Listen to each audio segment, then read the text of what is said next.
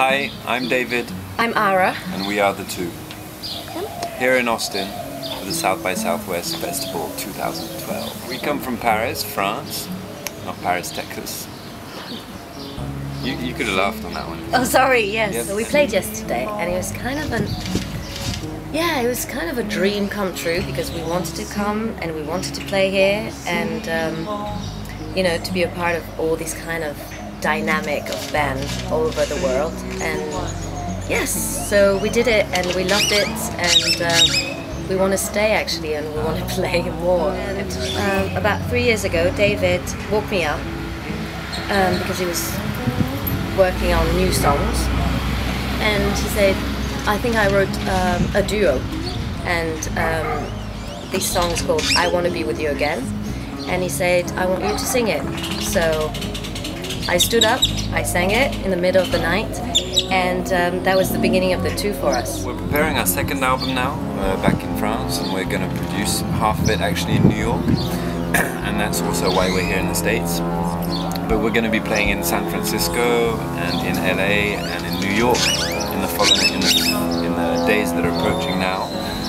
We have a, a good concert at Le Poisson Rouge in New York. It's going to be really exciting. On the 28th of March. And um, what's been great here is being able to play our songs and uh, present ourselves to the American audience. You know, we discover new audiences and hopefully they discover us, so it's a, it's a double, double way street. When I pack touring, um, my suitcase looks a bit like a circus actually because I'm madly obsessed with tutus. I've got a big collection of 75 tutus from all over the world, like kind of Russian ballet tutus or drag queen San Francisco shop tutus. And so this is not heavy, but it takes like, you know, a big amount of size in my suitcase. So I would say tutus for every day. Um, my um, motorcycle boots because I believe in them.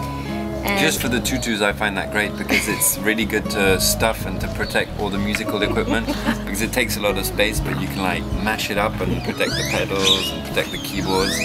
So I recommend this instead of um, bubble wrap. Tutus is great if you have a, a, girl in the band. She buys tutus and like you protect all your musical equipment. Yeah. Which is not the case for motorcycle boots. No, but we can put the mics inside. But yeah, you can put yeah. things inside. So yeah, my, my suitcase looks like a real zoo and a circus, and it's full of sequins, it's full of tutus, it's full of color, even if I'm completely dressed in black today. And um, yeah, that's it.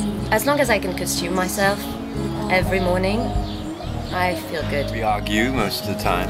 No, it's not true. When we're on the road, no, it's not true. No, it's not true. Yeah, no, it's I'm not telling true. you, come on, true. come on, it's not true.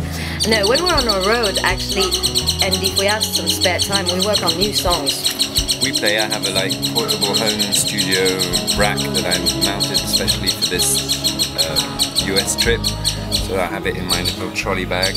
So everywhere we everywhere we are, we set up and we do music and we kind of records new stuff. But what's in the, the, the longest thing is when you're in the car driving because everything is so far away here. The biggest difference playing here is the um, enthusiasm of the crowd, whether it's in a positive way or in a negative way.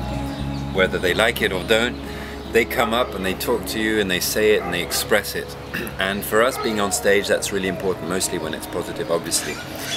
But in France, they're going to be much more quiet and mute, and they're not really going to be expressive in a way where they're going to show up and say, wow, that was amazing, or I really love that. Or for us, last year was the first time we played in New York, and having people walk up and saying, oh, thank you, thank you, that was just, that was a great moment. that was really surprising. It was like, whoa, what, what, are you, you know, what are you saying?